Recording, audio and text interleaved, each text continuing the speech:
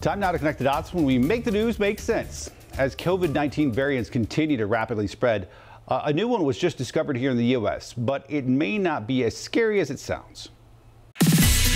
Texas A&M warning of a major public health issue after it announced it found a new COVID-19 variant in one of its students.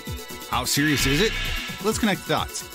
The variant is called BV-1. It was found in a saliva sample taken from a student who lives off campus.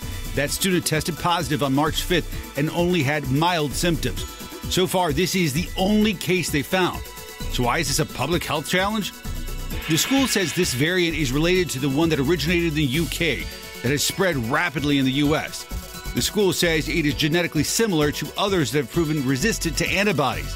However, more testing needs to be done before scientists can say whether this one can get past vaccines. Texas A&M says it will continue testing to see if this particular variant spreads. And that is connecting the dots.